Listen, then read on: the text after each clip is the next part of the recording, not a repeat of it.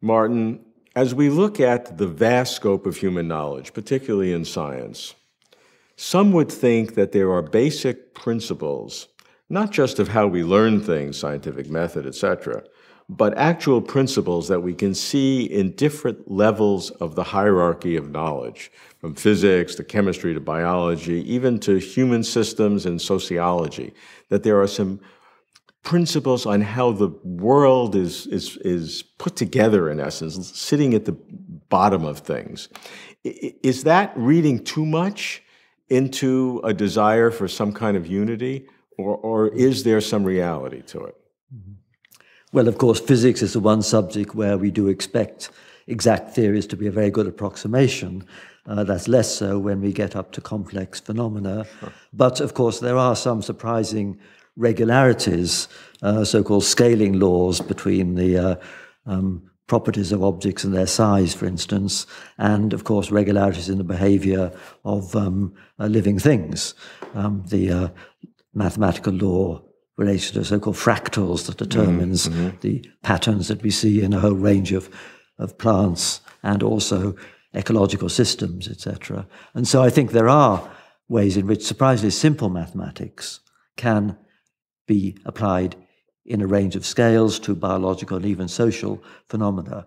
And of course, another important insight uh, comes from the realization that simple um, laws, simple prescriptions can have very complex consequences. I mean, mm, mm-hmm. the most famous classic example is John Conway's Game of Life, where he uh, just devised a, a, simple game on a checkerboard uh, where you have very simple rules, but following through those rules, you can get a variety of structures, even reproducing structures. And that's obviously a very interesting metaphor, which does show that you can have complex consequences from very simple laws. And I think this has been uh, an important message. And uh, in ecology, one has learned that uh, simple laws can lead either to random behavior or to a panchaotic behavior. And this is an important insight in some of those. So I think there are ways in which surprisingly simple mathematics, surprisingly simple laws can have a wide applicability. And this is gratifying. And that's one way in which scientists can provide interdisciplinary insight by showing that there are links between different levels in the hierarchy of complexity. But when people talk about a single scientific method, I get rather cautious because, of course, uh, some sciences involve mathematics, some don't. And if we think of an experimental scientist, um, particularly someone who's doing environmental science, then I don't honestly think there's anything different in the scientific method from what would be followed by, um, say, a detective or anyone else in trying to draw inferences from fragmentary and often ambiguous data.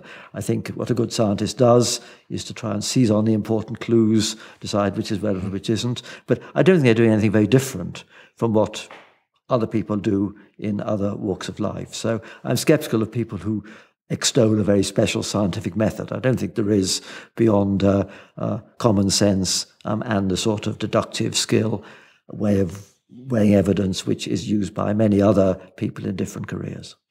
At different levels of science, certainly the applicability of mathematics is different. At the most fundamental mm-hmm. level, it would seem that mathematical equations have a certain uh, a certain um, absolutism to them. And as you get more complex system, more statistical and probabilistic methods are used so that when one gets to the effectiveness of a drug, you might have thousands of human trials and the difference of 10% or extending someone's life by a few months becomes very valid. So, uh, you know, how, do you see the, the flow of mathematics uh, uh, among the different uh, hierarchies of, of knowledge? When things are complicated, even if we can uh, understand them, that doesn't mean we can predict them. That's true of the weather, it's true of the behavior of animals, uh, it's certainly true of the response of humans to drugs and things like that. Um, and I think uh, one can explore the options by uh, taking large samples by statistics. And I think an increasing role is being played by computer simulations. Mm-hmm. Certainly in my own subject of astronomy and astrophysics, where we can't obviously do experiments on stars and galaxies, the advances have been hugely beneficial because we have the possibility to do experiments in the virtual world of our computer. We can crash galaxies together, see how they form, etc., and compare that with the, the real world. And there are other areas, I think, like maybe uh, drug tests and uh, complex chemistry, where what's now done by experiments, doing lots and lots of options, will eventually be done more rapidly by very powerful computers. So I think computers and computer simulations are going to play a bigger role. For instance, they've almost replaced wind tunnels in testing mm. supersonic plane designs because you have reliable enough programs to actually compute flow patterns in a computer. and It's much cheaper than having a real wind tunnel. And that sort of technique is going to take over in more and more areas. So, if we talk about simulation, this is a very important area. You've now described it at three different scales. You've described it at the structure of galaxies in the mm-hmm. universe and the, the macro scale of, of wind tunnels, which is sort of our macro world, mm-hmm. and at the world of molecules, which is the creation mm-hmm. and testing of drugs. Mm-hmm. Uh, what does that say about the nature of reality if computer simulation is able to be effective at all three of those vastly different levels? Well, computer simulation requires you to be able to specify the laws or an algorithm which applies, and in the case of um, uh, galaxies, it's a combination of gravity and gas dynamics. In the case of a wind tunnel, it's just gas dynamics.